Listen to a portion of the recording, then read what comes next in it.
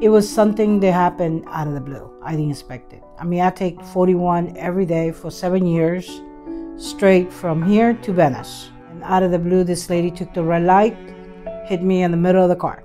So that was scary. At six o'clock in the morning, I mean, it was nobody on the street. When she hit me on the passenger side, I blacked out. I hit the side of my head. I had a concussion. The car was $10,000 repair. They had to change the whole passenger side. My injuries was neck and lower back. Well, I had a hairline fracture or a dislocated neck injury, so that was kind of painful. My husband took me to the hospital. He drew me there because I didn't want to go. But he drew me there because I was throwing up and I was like real whippy from the concussion. And his friend and him say, no, take her to the hospital. She, I, she's not looking good.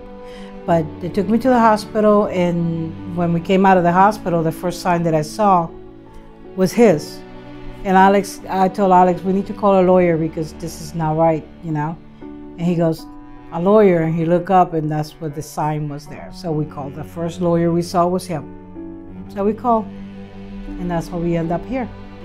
Well, I had a great time with everybody here.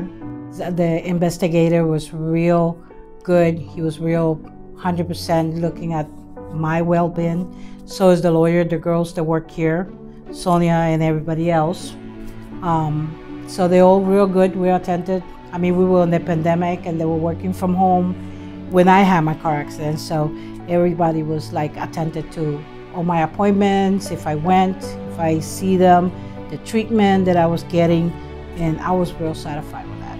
Everybody was 100% helpful. If you've been injured in an accident, call Gallagher and Hagopian today. Or visit us at hurtbyaccident.com.